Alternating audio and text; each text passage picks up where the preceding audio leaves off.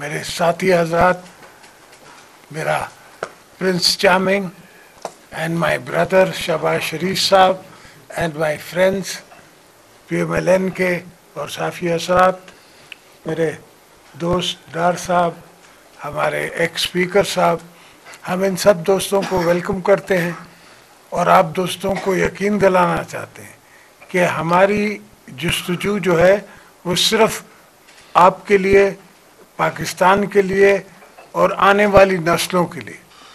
हम मिले भी इसी कॉन्सेप्ट पे हैं कि किसी तरह से पाकिस्तान को मुश्किलों से निकाल के आने वाली नस्लों के लिए इसको कामयाब करें।